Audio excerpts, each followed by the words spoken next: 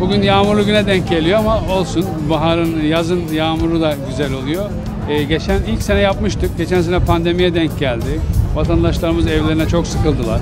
Şimdi e, geminin kapasitesinin yarısı kadar bir kesimde hanımefendileri alıp Boğaz turu yaparak 2-2,5 saatlik hem onlara motivasyon olsun hem sağlıklı günlere kavuşacağımızın bir sinyali olsun istedik.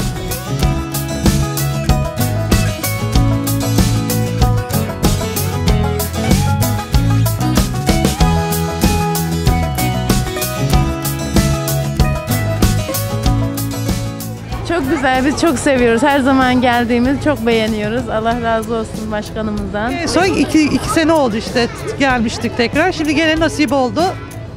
İnşallah devamlarını bekliyoruz. Arkadaşlarımızla da buluşamıyorduk. Çok iyi oldu bir araya geldik.